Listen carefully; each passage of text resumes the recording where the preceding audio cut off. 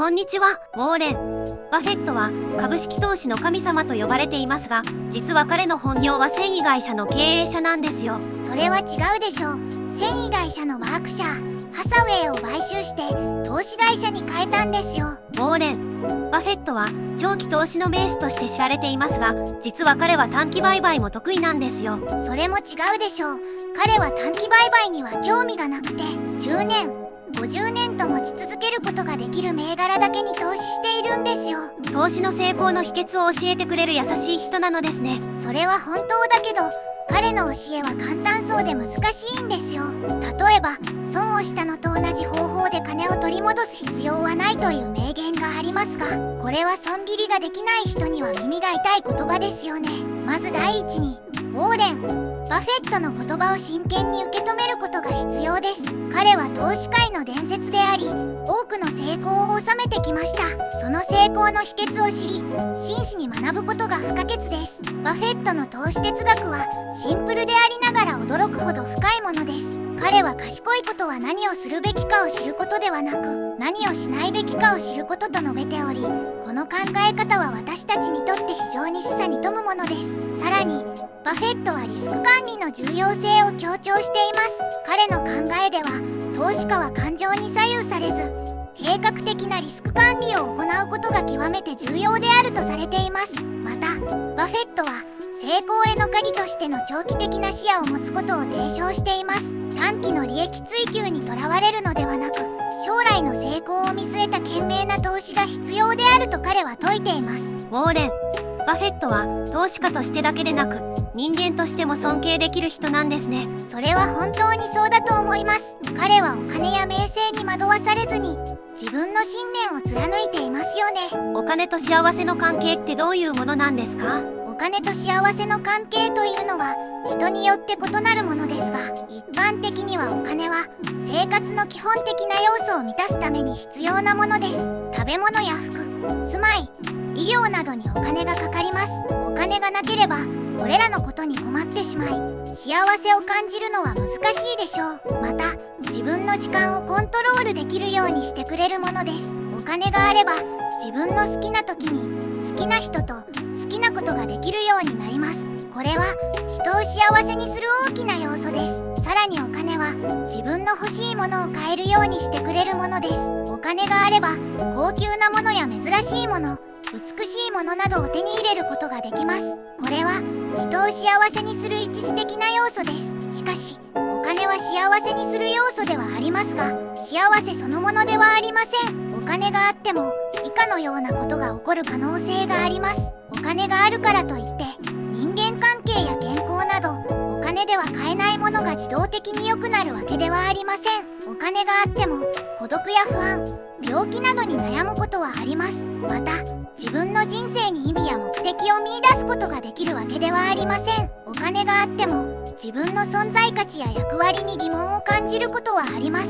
自分の感情や欲求に忠実に生きることができるわけではありません。お金があっても自分の本当の気持ちや望みに気づかないことやそれに従わないことはあります。以上のようにお金と幸せの関係は単純ではなく複雑です。お金は幸せにする要素の一つですが幸せそのものではありません。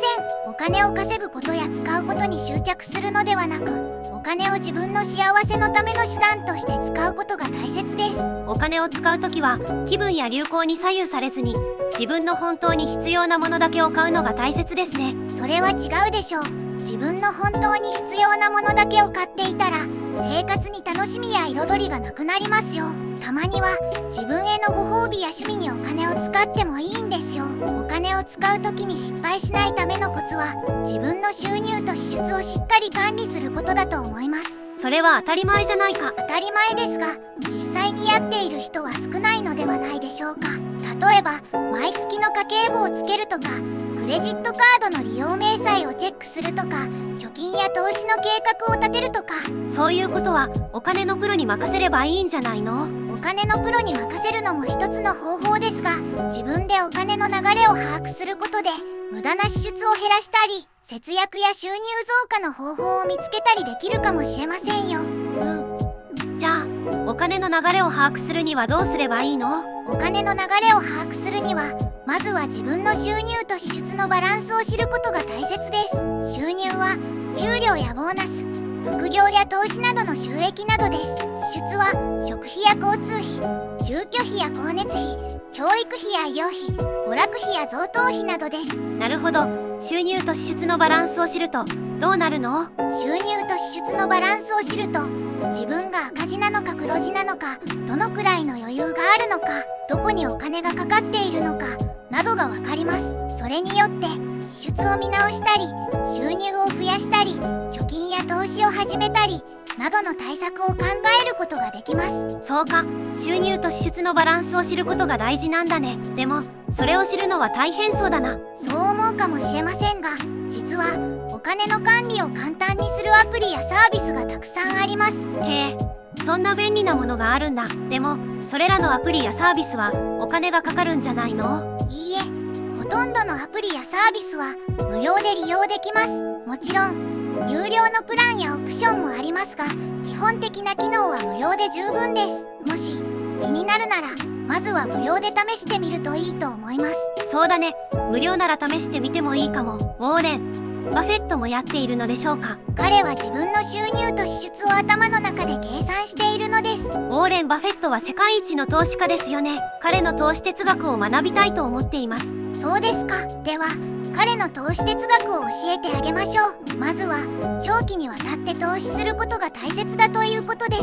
長期投資ですか？どれくらいの期間ですか？10年とか20年とかではなく無期限です彼は10年保有できないなら株を買ってはいけないと言っています。株価の変動に惑わされず企業の本質的な価値を見ることが重要なのです。なるほど。でも無期限に保有するというのはちょっと怖くないですか？怖くないです。むしろ安心です。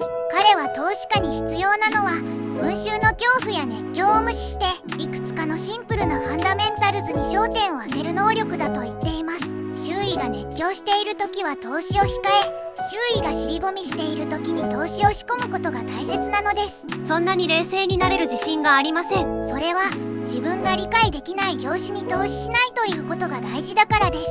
彼は自身が理解できない業種には投資しないという哲学を持っています。そのためハイテク分野や IT 分野への投資には積極的でないのです。ハイテク分野や IT 分野は今や時代の最先端ですよね。そこに投資しないと時代に取り残されませんか？そんなことはありません。彼は割安の株に投資するということも重視しています。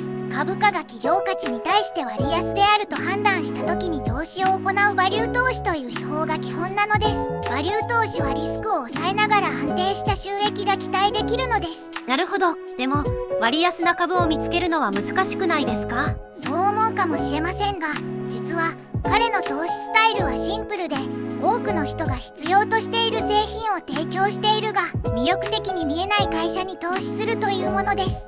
例えばコカ・コーラやマクドナルドなどのように誰もが知っているブランドです。へえそんな誰もが知っている会社に投資するんですか？でもそれらの会社はもう成長しないんじゃないですか？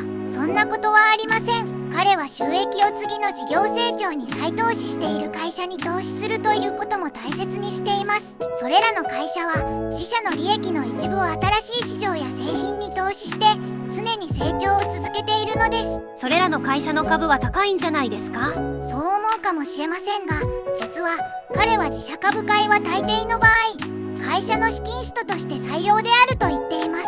自社株買いとは会社が自分の株を市場から買い戻すことです。これによって株主1人当たりの利益が増えるので株価が上昇する可能性が高まるのです。それらの会社の株は人気があり競争が激しいのでは？そう思うかもしれませんが実は彼は自分が保有する株式で別の株式を買ってはいけないと言っています。つまり自分が持っている株が良い株であれば他の株に目移りする必要はないということです。自分の持っている株に自信を持ち長期的に保有することが大切なのです。なるほど。でもそれだとつまらなくないですか？面白みがないですよね。そんなことはありません。彼は投資家として怠け者の美徳を理解すべきだと言っています。つまり無駄な動きをせずと待つことが重要だということです。投資は面白さではなく利益を得ることが目的なのです。面白くないと退屈しないですか？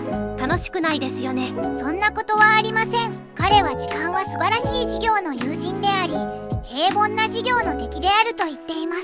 つまり時間が経てば経つほど優れた事業はより価値が高まり平凡な事業はより価値が低下するということです。時間が味方になるような投資をすれば退屈などとは無縁なのです。自分にできるか不安です。そんなことはありません。彼は自分磨きにも力を入れています。彼は若い頃から多くの本を読んで知識を身につけコミュニケーション能力を高めるために公開演説の講座を受けたりメンターのもとで学んだりしています。自分の能力を高めることで自信もつき投資の成功率も上がるのです。自分の能力を高めることって大変じゃないですか？努力しないといけないですよね。そんなことはありません。彼は自分が好きなことをやっているから努力とは感じないと言っています。彼は投資を楽しみながらやっているのです。彼は投資はゲームであるとも言っています。ゲームのようにルールを守り戦略を立て勝負を楽しむことが大切なのです。ゲームに夢中になりすぎて失敗しないですか？そんなことはありません。彼は自分の限界を知ることが重要だと言っています。彼は自分の能力や知識の範囲内で投資をすることを心がけています。彼は自分のサークルオブコンピテンスを超えないことだと言っています。サークルオブコンピテンスとは自分が理解できる分野のことです。自分のサークルオブコンピテンスを超えるとリスクが高まるので避けるべきなのです。挑戦を否定するのでしょうか？そんなことはありません。彼は自分のサークルオブコンピテンスを広げることはできると言っています。彼は常に新しいことを学び自分の知識や経験を増やしています。彼は自分のサークルオブコンピテンスを広げるには自分のサークルオブコンピテンスの端に近づくことだと言っています。自分のサークル。オブコンピテンスの端に近づくと新しい発見やチャンスが見えてくるのです。へえそうなんですか。自分のサークル。オブコンピテンスの端に近づくにはどうすればいいのでしょうか。それは自分の興味や好奇心を追求することだと思います。彼は自分が興味を持ったことについてはとことん調べると言っています。彼は本を読んだり人に聞いたり現地に行ったりして自分が知りたいことを調べます。彼は自分が興味を持ったことについては何時間でも話せると言っています。彼は自分の興味や好奇心を満たすことで自分のサークルオブコンピテンスを広げているのです。そうか。